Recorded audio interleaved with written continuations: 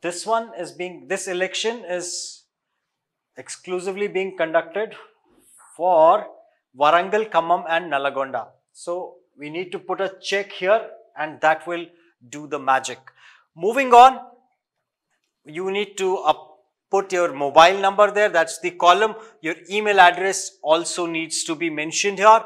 And uh, then there is a small declaration that all the details that you have given are true to the best of your knowledge. And then we have a code as well. We just need to put this code here. In my case, the code, you know, it will keep changing. So that's a dynamic code. So 73215 is the code that I have got. I need to put that code here. That's the CAPTCHA text uh, for security.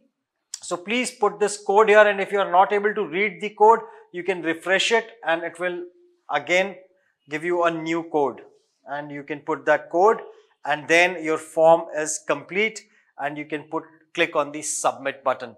So uh, that was the procedure of uh, filling in your form 18. So please do so. We urge the youth of India, the graduates of uh, Telangana to fill this form and please do participate and select your you know favorite contender. Thank you so much.